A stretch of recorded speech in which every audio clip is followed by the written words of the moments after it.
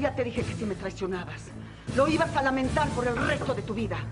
Así que prepárate, Ángela, porque te voy a hacer pedazos. Ahora sí vas a conocer mi otra cara. Y cuando lo hagas, te juro que te vas a arrepentir hasta de haber nacido. Entiendo por qué me amenaza, pero no espere que me disculpe, porque actué de acuerdo a mi conciencia. No podía permitir que usted siguiera con sus planes para quitarle la soledad a don Feliciano. ¿Y tú crees que testificando contra mí vas a impedirlo? ¿Tú crees que por el solo hecho de haber ido a declarar que estuviste trabajando en esa mina bajo mis órdenes, ya todo este asunto quedó solucionado para el viejo loco ese de, de Feliciano? Yo no mentí. Es cierto que obedecí a órdenes suyas. Y por lo tanto sí hubo un mal manejo de fondos. Fue culpa suya y no de don Feliciano. Porque en esa época él no estaba en la mina. No sabes en la que te acabas de meter. Estoy preparada, señora.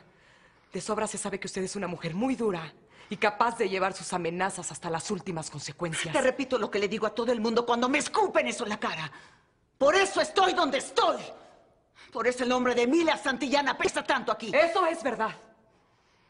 Por eso usted es una persona tan sola y tan odiada hasta por su propia hija. ¡Cállate! Eso es otro defecto suyo.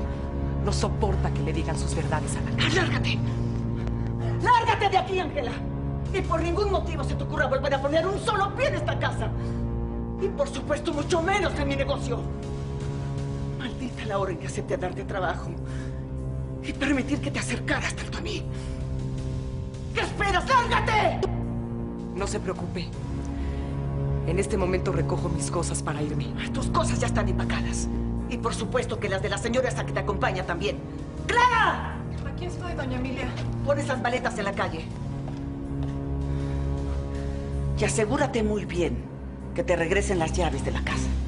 Sí, señora. Ay, señorita Ángela, a mí me da mucha pena todo esto. Era algo que iba a pasar tarde o temprano. Vámonos. Yo tampoco quiero seguir un minuto más aquí.